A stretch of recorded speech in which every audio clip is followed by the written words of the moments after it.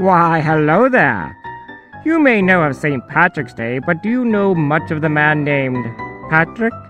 Well, neither do I, and actually, history doesn't know much either, so we'll briefly talk about the man, but then we'll focus more on the country he is known to be involved in Ireland.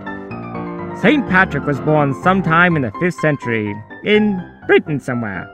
Around 16, he was taken by Irish pirates and forced to work on a sheep farm, apparently. After six years of that, he escaped and went back to Britain, became a holy man, and decided to come back to Ireland and teach them about being a Christian.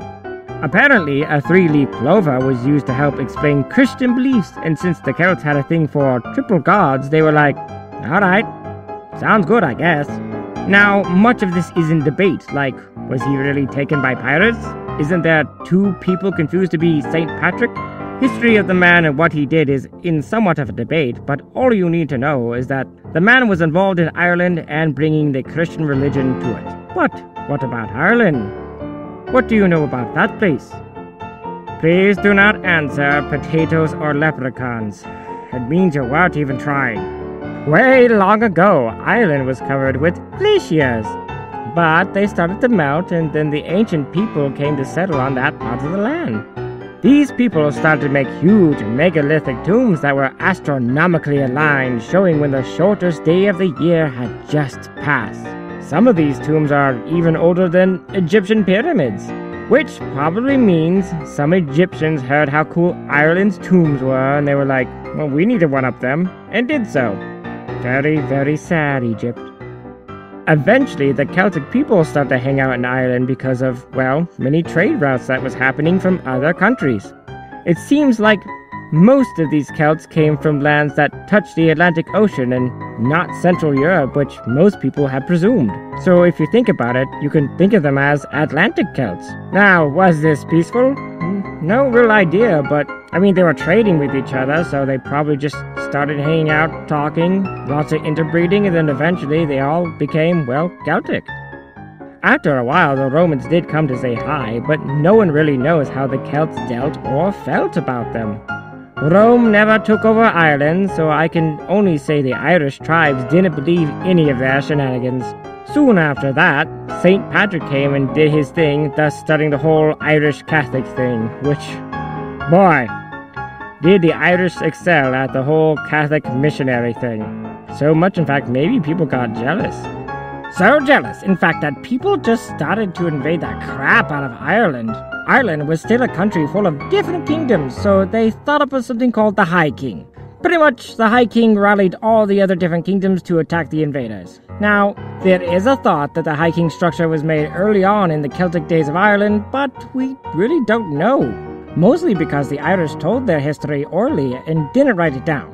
Ireland then was pretty much constantly invaded and taken over by foreign powers from 795 AD to around, well, 1922 AD. Many of the people were Vikings, Normans, the English, English with the Scots, and then Henry and the Eighth and his children came in and brought in the Protestants, which didn't really care much for Irish Catholics. And then the Irish were forced to eat potatoes, and then the Great Famine came in, and well, about a million Irish people died, and then about a million more left, you know, just to find places that they wouldn't starve to death. And then the language of Ireland, instead of being Gaelic, kind of went to English by that time. Yeah, pretty dark. So, you remember how I said not much is known about St. Patrick? Well, the same could pretty much be said about Celtic Ireland. You see, Irish mythology wasn't really written down until many years after Ireland became Christian. So, many of the stories that are written down aren't exactly true to how the Celts felt about them, and the stories are, you know, they're there, but they're not completely Celtic. That is probably why St. Patrick's Day is more about Ireland than, well, St. Patrick. Today, after well over a thousand years of hardship, Ireland pretty much deserves a day saying, hey, we made it. We are still here. Though the tacky hats, insulting uh, mimicry of their uh, accents, the drunken stupidity, and wanting the parade to be more about just Irish heritage have kind of gotten out of hand. I mean, most of you should know that the leprechaun outfits were derogatory statements about the Irish in the 19th century. This is why some people of Ireland see the celebration of St. Patrick Day out of Ireland as, well, plastic pattiness, where foreigners appropriate and misrepresent Irish culture, claim Irish identity, and enact Irish stereotypes. Which is kind of mean to a place that has nothing but crap on them for the longest time. Not saying that they didn't have their peaceful times, of course. It's just, well, in the history of things, it's been more not peaceful.